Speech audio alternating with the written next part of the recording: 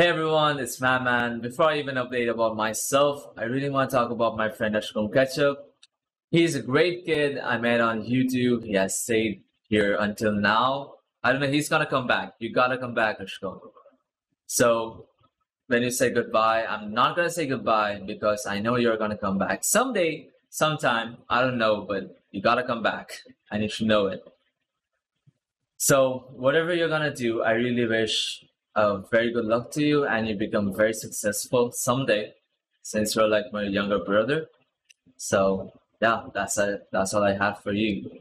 So coming to one more thing, that is my situation right now. Uh, I'm not in a great situation because I'm having some problems at my own house. So I really can't focus on streams, but I'm trying my best to give everything I have. But I know I'm not reacting that much. Uh, so I will look into them after I fix few things, and also I'm joining a job to support my career on streaming. So I might not be available too much, but I will be streaming. And yeah, that's all. That's all the news I have. Goodbye.